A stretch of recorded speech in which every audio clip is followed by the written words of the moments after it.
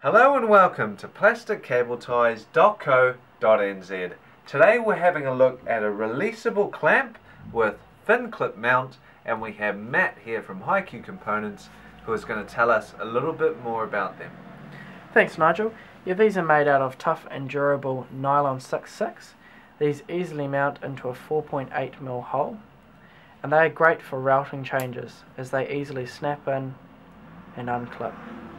So if you have any questions, please do head on over to the website plasticcableties.co.nz and the friendly team at HiQ Components will get to them as soon as possible.